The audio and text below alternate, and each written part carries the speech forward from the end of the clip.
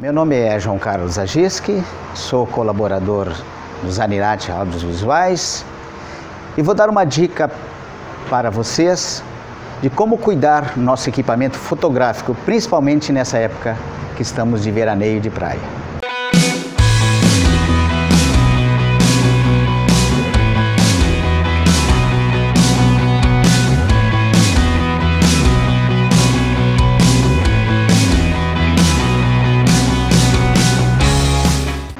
Vamos agora dar uma dica acerca de batidas em equipamentos fotográficos. Essas câmeras, as lentes, são muito sensíveis.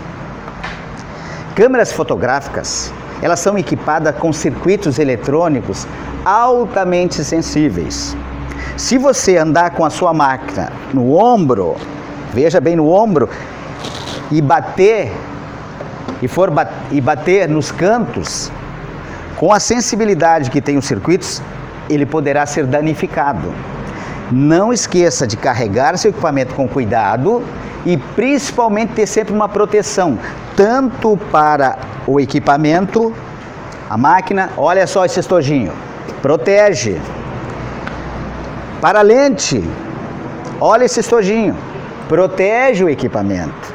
Isto aqui Muitas vezes o custo é tão baixo do que você danificar uma lente que é importante e custa bem mais caro.